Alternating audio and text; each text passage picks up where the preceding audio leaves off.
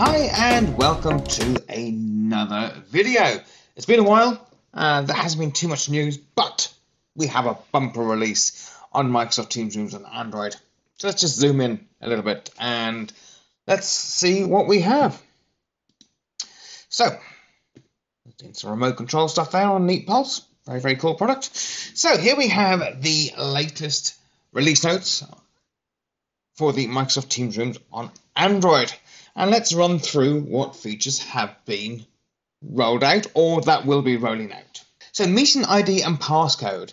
So this is where we can put an extra layer of security. So originally, if you hit the join button, boom, you're in the meeting or you're in the lobby and you can be admitted. However, if you have an MTR in a public space that you don't want people walking into, or maybe the boardroom, you don't want people just walking in and joining meetings, then by enabling this feature, this will allow you to make sure you've got that user that ID and passcode. So whether it's on your cell phone, it's on your laptop, you have to key that in, and we'll show you that in a bit on how you enable that. Now there is a little note next to this. The meeting ID and passcode feature will be uh, fully rolled out in March 24. So what else do we have? New calendar views. So this is where it's matching the Teams panel outside the room and also Microsoft Teams rooms on Windows. So again, users won't know the look and feel, be exactly the same between all the rooms that you have, whether it's Windows or Android. As you see here, there's a note, any available time uh, slots for 11 minutes or more will be shown. Uh, on there with a green or purple uh, bar. We also have improved view switcher for front of room uh, display controls. Again, this is mirroring Microsoft Teams rooms on Windows, that same look and feel UI when we go into the layout switcher and when we jump into a call, we'll see how that looks. Um, but this also allows you then to set some defaults. So for example, if you are using front row, what you want on the left and what you want on the right. So if you want some raised hands and some chat, you can have that or vice versa, whatever you decide. Or maybe just one on the left, nothing on the right, for example, or vice versa. We also have the ability now to support Teams Premium features that were already. We had watermarks, but now we have end-to-end encryption and sensitivity labels are supported in this latest app. A point-to-point call or dialing outside of Microsoft Teams rooms. So we have the ability to call people externally when we had um, the platform uh, last year, but in last year's update, when we moved from um, a meet to a meet now sort of experience, that broke that ability to dial out. But that's back now, so we can now call people externally directly from the pad. And other reliability and uh, improvements, etc., on there. So let's look at each one of these in detail.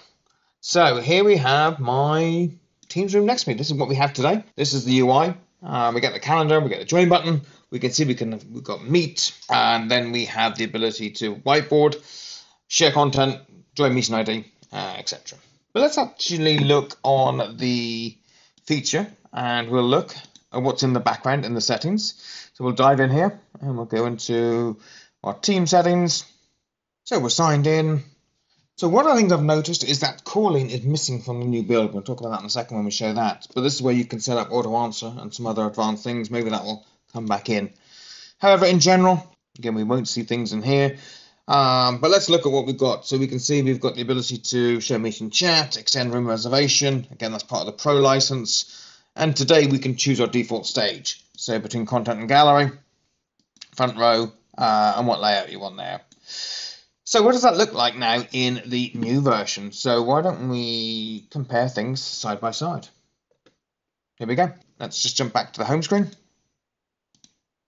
So here you can see the differences between the two platforms now. So on my left, that that way, you can see we've got the icons there, but on the new UI we now have actually rather than saying meet, it says meet now. We also have a call button.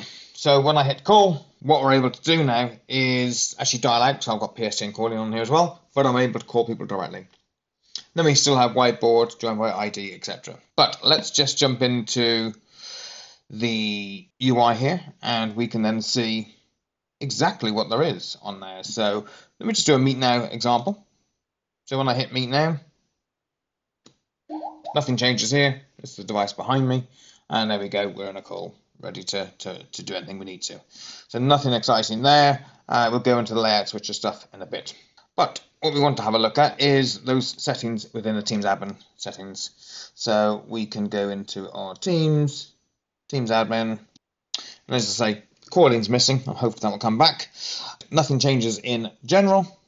In the meetings, this is where we have require passcode for all meetings. We also have the the ability to actually that's moved around a bit has it uh, HDMI options are over here now rather than general here we have the ability for front row what our defaults are left and right what do we want on there so do we want raised hands for example? We can enable that over there. Okay wireless connections has moved over there. Interesting. Why don't we uh, put these side by side so you can get a understanding of what's changed? So you can tell any of our admins. So we can see here content sharing was here. Uh, it's now changed to wireless sharing under general and then under meetings all our options plus content change so there's a little switch around here in the uh, admin settings so you just need to be aware of that when you start looking for things but what I want to do on here is actually enable the require passcode for all meetings and what this means is when we come out of here and we do attempt to join this scheduled meeting it's now asking me for that username and password so I need to know these credentials for the meeting ID so it's already got the meeting ID on there so I just need the credentials of the passcode. So let's just grab that. And this is case sensitive. And I hit join. As you can see, I've got some friends in the call already. And if I do the same on the other side now, I hit join. Obviously, I'm straight into the meeting. So no differences here in the UI on what's happening. But if I go to our layout switcher now, so you can see what we previously had. We had together mode, so we could put that on, and then we could then put everyone on the stage how we wanted. Well, that's a new look and feel. That's very cool. I like. We then also had large gallery. So if you had lots of people, over nine people, then you get a large gallery view. And then we have um, front row. So we could see what's happening on there. Let's just send in some content. And again, we also have the option to switch orientation as well. Uh, so when we are in large gallery mode, there is the option to switch orientation. That was. It's now disappeared. So we're now sending content in here just so you get a look and feel. So you can see when you've got front row, we will have the presentation there in the middle. So again, we can go back to gallery. This is what we had originally. This is what we would see. And we could have our content gallery. So people down the bottom. Then we could just focus on content, large gallery, but also the content, uh, or, or obviously our together mode. So what does this look like on the new version of the app? So when I hit the layout switcher, look how much different it is. Very, very different. So I've got the gallery and I've got content and people. I could focus on people only. There we go. And then I can go back to there. But I can also show chat as well. If we move people down the bottom, if we have chat on, again, I've got the large gallery option, large gallery with chat as well as an option. Together mode, again, we can do together mode with chat. Again, we can also go front row. Remember, I set this default in my application, what I want on the left, what on I want on the right. Uh, but I can also hide it during the meeting as well. So I can come out of there and have that on there. I can focus on content, so make content full screen, and obviously with chat on or off as well. So that is the new UI switcher. Some nice things on there.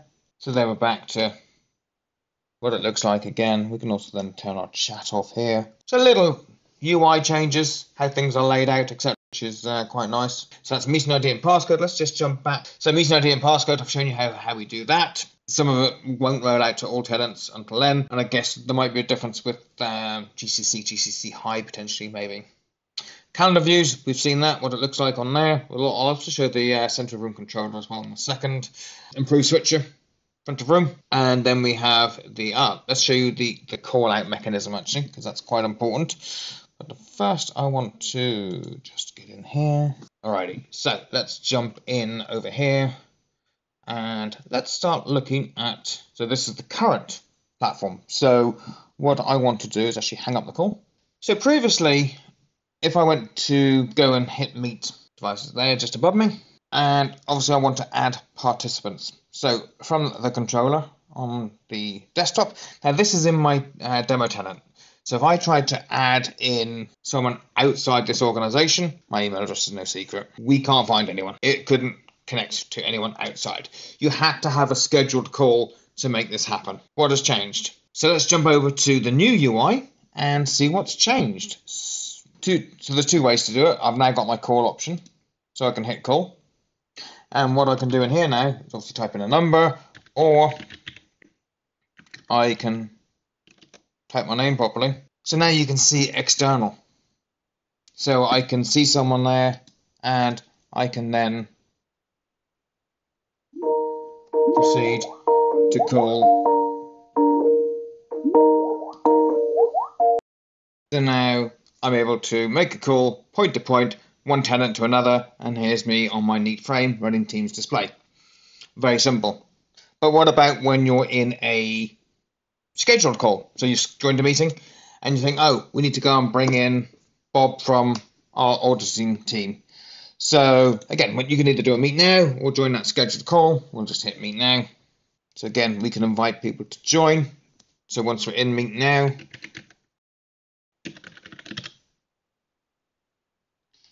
and I can then call out to someone externally. And there we have it, the ability to make that uh, call inside to outside. So it's taken a year to come back, but it's back and we're able to contact anyone externally now on there. So that's what we have in the latest updates for our Microsoft Teams rooms. Uh, 2.1 is a new naming mechanism, or 2.1.0 is a new naming mechanism.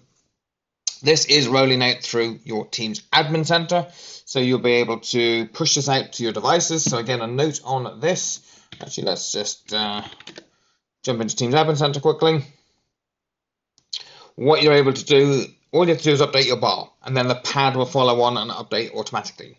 If you try and update your pad individually or your touch console, it will fail. So there's a great new mechanism in here now to um, make sure that the devices, uh, when you update one, uh, it won't fail. So we'll just pick here my colleague Atul, and then we can scroll down we can look at the health and we can see what version it's currently on and then we can see available updates and then we can choose to push that version of that app out and again I just need to do the uh, touch console I don't need to go in and do the pad as well that will put an error up the top saying uh, you can't uh, deploy this I think sorry this has failed so just do it from the update now one thing I just want to quick look at is configuration profiles.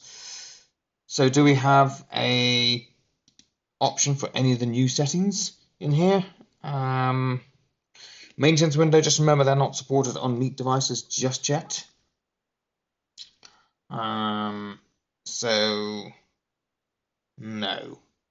So none of those new feature. So the, the, the main feature I was looking at here was the enablement of meeting ID and passcode. It's off by default, so you won't get a surprise on all your meetings. Um, if you want to enable it, you have to go to device or use something very cool like Neat Pulse and remotely control that. So, any questions? Let me know, and I'll be glad to answer them for you. Thanks all.